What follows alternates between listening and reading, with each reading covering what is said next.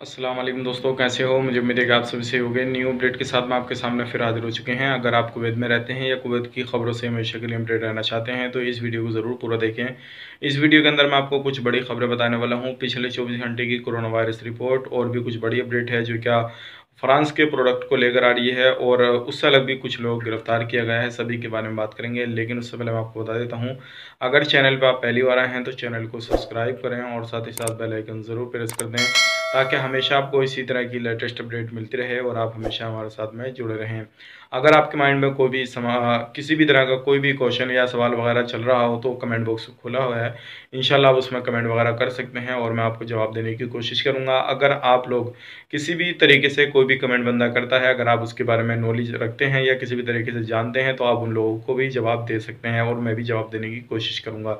तो आप ज़रूर कमेंट भी कर सकते हैं। तो चलिए पहले सबसे बड़ी अपडेट के बारे में बढ़ते हैं, जो चौबीस घंटे की कोरोना वायरस रिपोर्ट आ रही है। दुनिया भर की पहले कुवैत के बारे में बात कर लेते हैं। छः सौ नए केसेज आए हैं और मरने वालों की जो संख्या है वो चार बंदों की है। टोटल केसेस हो चुके हैं एक लाख बीस हज़ार नौ सौ सत्ताईस और जो टोटल संख्या हो चुकी है मरने वालों की वो सात सौ चौवालीस हो चुकी है।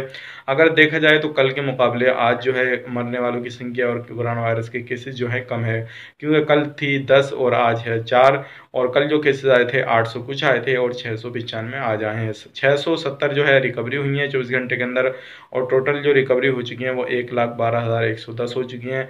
जिसमें कि बात करें टेस्ट की, पाँच हज़ार एक सौ चौरानवे टेस्ट हुए हैं। टोटल टेस्ट जो हो चुके हैं, वो आठ लाख सत्तर हज़ार सात सौ चौवन हो चुके हैं। अब बात कर लेते हैं जो एक्टिव केस हैं और जो सीरियस केस हैं। तो सबसे पहले हम बात करते हैं सीरियस केस की। एक सौ तेईस सीरियस केस हैं और जो एक्टिव केस हैं, अभी भी जो हॉस्पिटल के अंदर एडमिट हैं, वो हैं आठ हज़ार तिहत्तर केसेज तो ये थी पिछले चौबीस घंटे की कोरोना वायरस रिपोर्ट। अगर आप भी किसी तरीके से बाहर निकलते हैं, कहीं भी जाते हैं तो आपको सावधानी बरतनी है और सबसे पहले अपना मास्क वगैरह का ज़रूर याद याद रखना है और आपको ज़रूर यूज़ करना है ताकि आपको किसी भी तरह से कोई भी पेनल्टी का सामना ना करना पड़े।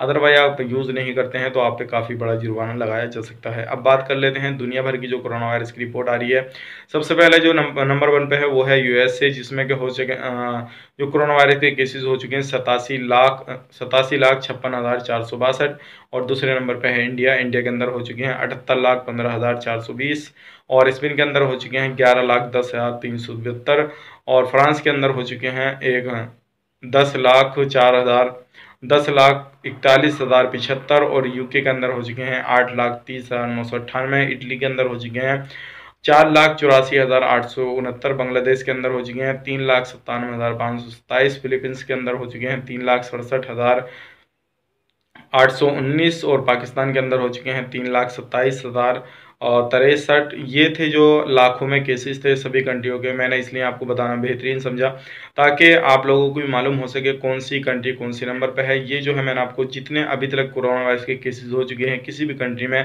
तो वो रिपोर्ट मैंने आपके सामने पेश की, ताकि आप लोग भी इसी चीज़ से अंदाज़ा लगा सकें, अभी कौन सी कंट्री कौन सी नंबर पर है। अब बात करते हैं अगली अपडेट की तरफ़ जो आ रही है, फ्रांस के हवाले से आ रही है। कुवैत ने जो है एक बड़ा ऐलान किया है।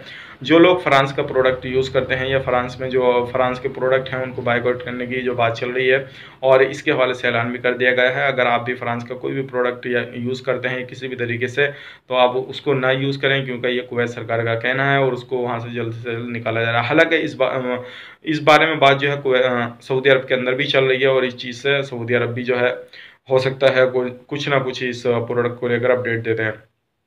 अब बात करते हैं अगली अपडेट की तरफ़। जो अगली अपडेट आ रही है निकल के, वो आ रही है लोगों की गिरफ्तारी के हवाले से। जैसे कि आपको मालूम है, अभी जो है काफ़ी ज़्यादा चेकिंग वगैरह चल रहा है, चाहे आपका खैतान हो, जलेबल सोग हो महबूला हो, या जहरा हो, किसी भी एरिया में अगर आप रहते हैं, ख़ास करके जहाँ पर बैचलर लोग रहते हैं, जो लोग वहाँ पर काम करने वाले रहते हैं, कुछ एरिया ऐसे हैं जिनमें ज़्यादा काम करने वाले रहते हैं तो वहाँ पर काफ़ी ज़्यादा जो है रेड वगैरह मारी जा रही है और पूरी पूरी की पूरी बिल्डिंग में चेकिंग वगैरह किए जा रहे हैं। तो अगर आप कहीं पर भी रहते हैं तो सबसे पहले आपके पास में सिविल आईडी वैलिड होना चाहिए। अगर आपका सिविल आईडी एक्सपायर हो गया है, तब भी आपको जेल के अंदर डाल दिया जाएगा और हो सकता है आपको 10 से 15 दिन के अंदर या फिर जल्द ही आपको जो डिपोर्ट कर दिया जाए। लेकिन अभी जो है फ़्लाइट वगैरह जो चल रही है, वो चल रही हैं फ़्लाइटें लेकिन आपको अगर जेल के अंदर डाला जाता है तो लग सकता है आपको दस से पंद्रह दिन लग सकते हैं। तो ध्यान रखिएगा, कहीं पर भी आप काम करते हैं तो आपका जो सिविल आईडी है, वो वैलिड होना चाहिए, कहीं भी आप काम करें कोई परेशानी नहीं है। लेकिन आप कहीं भी घूमते हैं तो परेशानी नहीं है, लेकिन काम जो करेंगे आप, जो सिविल आई का जो वीज़ा आपका जिस काम का हो, वही काम करेंगे, तब आपको कोई परेशानी नहीं है। अदरवाइज़ आप दूसरा काम करते हुए पकड़े गए किसी भी तरीके से तो भी आपको बड़ी परेशानी आ सकती है, क्योंकि अभी जो है पुलिस जो है अलग अलग जो है इसी काम के लिए जो है तैनात किए गए हैं अलग अलग जगहों पे। पूरे कुवैत के अंदर जो है लोग इसी काम के लिए तैनात किए गए हैं। कौन से लोग कहाँ पे काम करते हैं, कितना काम करते हैं, ये सारी चीज़ें जो है कुवैत के अंदर छानाबीनी चल रही है और सादा भर्ती में लोग जो है घूम रहे हैं। और अगर आप दुकान पर या किसी भी तरीके से कोई भी मॉल वगैरह में या किसी भी शॉपिंग मॉल वगैरह में काम करते हैं तो भी आपको सावधानी बरतनी है। सबसे पहले जो है मास्क वगैरह का आपको यूज़ करना है, फिर उसके बाद में सोशल डिस्टेंसिंग का पूरा ख्याल रखना है और उसके बाद में जो है आपको साफ़ सफ़ाई रखनी है अपने एरिए के पास में, क्योंकि अभी जो है इन चीज़ों पर खास करके ध्यान दिया जा रहा है। अगर आपके पास में कहीं भी गंदगी पाई गई और देख लिया गया, आप उसमें शामिल थे किसी भी तरीके से गंदगी फैलाने में तो आप पे तब भी जुर्माना पड़ सकता है। तो ये अपडेट इसलिए बताना आपको ज़रूरी है और इसलिए मैं आपको समझाता हूँ ताकि आप लोगों को सही चीज़ें समझ में आ सकें और जो भी गलतियाँ करते हैं, आप छोटी छोटी गलतियाँ जिनको आप इग्नोर कर देते हैं, ध्यान नहीं देते हैं और सोचते हैं कोई ये गलती नहीं है, लेकिन अगर आपको पुलिस पकड़ है तो वही गलती की आपको पेनल्टी जो है कई सौ के डी की भरपाई हो सकती है। और अदरवाइज़ किसी भी तरीके से आप अगर उन गलतियों को इग्नोर नहीं करेंगे, अगर देखेंगे हाँ भाई, ये गलती हो रही है, मुझे इससे बचना चाहिए तो आपको ये सारा लॉस नहीं होगा। तो ध्यान रखिएगा, कोई से भी एरिए में कहीं पे भी काम करते हैं, जो आपका काम है, जिस काम का आपका वीज़ा है तो उसी काम पे आप जो है होने चाहिए। अगर आपका सिविल आईडी वैलिड है तो आप काम करिए, कोई टेंशन वाली बात नहीं है। लेकिन अगर आपका काम दूसरा है, सिविल आईडी दूसरा है आप आपने वीज़ा कहीं और से निकलवाया, इस दौरान आपको पुलिस पकड़ लेती है तो आपको काफ़ी जो है परेशानी आने वाली है। तो ये इसलिए मुझे आपको बताना पड़ता है, क्योंकि काफ़ी सारे लोग इस चीज़ को भी लेकर कन्फ्यूज़न में रहते हैं कि भाई हम वहाँ पर काम करते हैं तो हमारा बीस नंबर वीज़ा है, हमारा अट्ठारह नंबर वीज़ा है, हमारा बाईस नंबर वीज़ा तो हमें कोई परेशानी आएगी या नहीं आएगी, हमें ज़रूर बताइएगा। इससे रिलेटेड मैंने आप लोगों को क्वेश्चन देखे तो मैंने सोचा क्यों नहीं वीडियो में सारी चीज़ें क्लियर की जाएँ, क्योंकि काफ़ी सारे लोग ऐसे होते हैं जो क्या जानना चाहते हैं कि भाई वीडियो में हमें बता दीजिए, ताकि हम इस चीज़ के हवाले से कोई भी अपडेट हमारे पास में रहेगी तो हमें कोई भी परेशानी ना आ सके। तो उम्मीद करता हूँ जो भी मैंने आपको अपडेट दी, वो सारी चीज़ समझ में आ गई होगी आपको।